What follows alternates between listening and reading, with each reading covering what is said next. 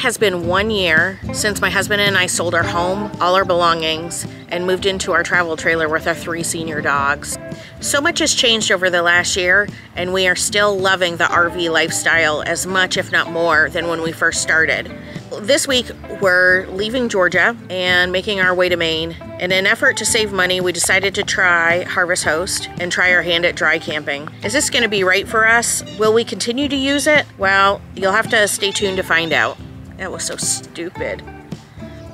All right, you guys, this one is a quick video. We've been in Georgia for six weeks and we are gonna start making our trek to Maine. We're going nice and slow. We're going at a relaxed pace, but we decided in an effort to try and save money that we were gonna take advantage of Harvest Host a little more this year than we did last year. If you don't know, Harvest Host is a paid membership that you pay for annually.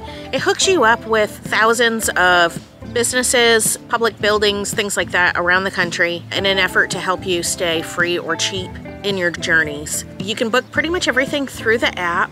We have also added on the golf course package and Boondockers Welcome, which is uh, staying at people's homes or on their private property. They say when you're staying at Harvest Host, you should contribute a minimum of $30 to go towards, say it's goods and services if you're like at a, a restaurant parking lot or a brewery or a winery, something like that. There's a lot of churches on there, so maybe you could just make a donation to the church. But if you have been traveling like we've been traveling, it's getting harder and harder to find those $30 places to stay. A lot of times it's like 50, 60, 70, 80 dollars a night when you're blowing through. So we thought this would be a good alternative this summer to help save us money. One thing we really wanted to try with Harvest Host this season was dry camping, not having any hookups. So we are to give it a whack and try it out and see how we like it. If that's something that we want to or could see ourselves doing more in the future. I am realizing how many places I've never been to. I've never been to Tennessee. This was the first time. I mean, it was just a small overnight, but I think that's one of the things that I like about living this lifestyle is we're kind of pushing out into some areas that we've never been before, kind of starting to get out of our comfort zone. I'm hoping to do more of that this fall, but we'll see where that takes us. I haven't really planned anything yet. Our first stay was in the little town of Sweetwater, Tennessee. It was right off of I-81. The name of the stop was the Bass Pond, and it was somebody's property. Uh, the one nice thing about this is they had full hookups. So we took advantage of that because they were only charging $35 for full hookups. And if the obligation is roughly $30 you should contribute or donate, it was a no-brainer for us to spend the extra $5 and be in the comfort of our own place. This was in like an old pasture, an old field. They've obviously done a lot of work. It looked like there was a handful of people that were there for a little bit longer term stay, but it was super quiet. Well, I think one other rig pulled in besides us and she did tell me around 10 o'clock you have to be careful. The coyotes come out. Make sure your dog's on a leash and attended for. She said you'll hear them usually for an hour or two. We waited to hear it. We never actually heard it. I was kind of disappointed that I didn't. They apparently live in like an adjacent field and come into that field at night. So we did not hear it. It was super, super quiet. It was a chilly morning the next morning, but it was super nice. We we cleaned and flushed out our tanks for $35. It was totally worth it. It was just a mile or two off of the highway, and I would go back again. They were very kind and uh, very quick with their information, so uh, I was happy with the communication and all of that stuff. The second place we stayed was in Marion, Virginia, at a place called Park Place Drive-In Movie Theater. And that was going to be our first opportunity to dry camp, have no hookups. We booked a Saturday night at the drive-in, which simply means it's time for a movie. I couldn't wait. I didn't even care what the movie was or anything. All right, here is our movie selection tonight. It's open Fridays and Saturdays. I think it just opened up for the season. And tonight we're watching Godzilla, King Kong, The New Empire. What time does that start? Oh, it says 8 p.m. So that's what we're going to be doing tonight. just thought of something. We're waiting for the movie to still start. These guys over here, they've done it right. They're sitting outside, they back their truck in, and they have like, I swear, 20 blankets. They are just building a pallet back there that's gonna be warm and squishy. It's gonna be fun. There's quite a few people here tonight, a lot more than I thought. But I was just talking to Roger and I thought to myself, how cool is this? We get to go to the movies with our dogs. Stella's never been to the movies. Cheech, have you been to the movies? No. We came inside because it's freaking cold outside already. I'm glad I got the little transistor radio because being, you wouldn't necessarily need it outside because they do have a lot of speakers pumping out, but being inside for sure we're gonna need it. So it's nice and warm in here. We're gonna sit at our at our desk and watch the movie. Look how close we are.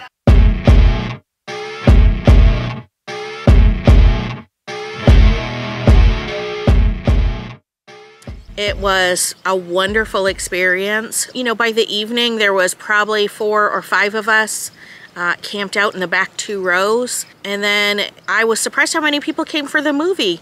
I love this place. I can't wait to go back again. The only problem that we ran into is we did lose our batteries around 5 or 5.30 in the morning. It was cold. Well, that didn't really go quite as planned. Not enough batteries to turn our heat on. Our batteries died around 5 in the morning. So our fridge isn't on, which isn't a big deal because it's cold anyway. Um, but it's free. it's freezing in here. I'm making coffee and I turned on the extra burner, well the extra one that works, and I closed off the bedroom and the bathroom to try and put a little warmth in this room. Even Stella was cold and she's never cold, but she wrapped up in a blanket with me and didn't budge.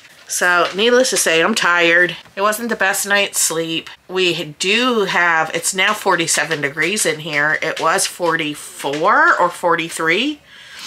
So it's gone up a couple degrees. Yeah, I think we I think we need to refigure some of this so that we can be a little more comfortable. Chi Chi, I thought maybe she was dead. I saw something moving in these blankets over here, but she is completely under these blankets. She's not dead, everybody. I saw it moving, but I'm not going to disturb her because I don't want to bother her.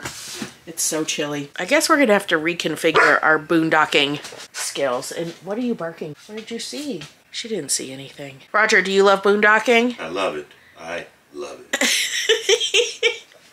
when the sun kicked in uh, and came up over the hill, I noticed that it was doing a good job charging our batteries. So we just left everything, kind of conserved our energy, cleaned up.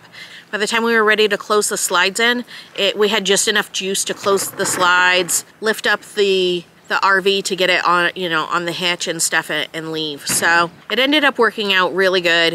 Uh, I was impressed that our solar, we've not really used our solar. I would say one thing that I want to do is I want to beef up my battery bank for sure because I need my fridge to run. I if I if it's cold, I want the furnace to run. So we are going to look into some battery options coming up soon, but I would definitely do it again. And we didn't have to break out our generator to charge our batteries so to close the slides I, you know the solar panels and the batteries did their job there so I was really happy about that. What do you think Roger? Did you like it? Loved it. He loved it.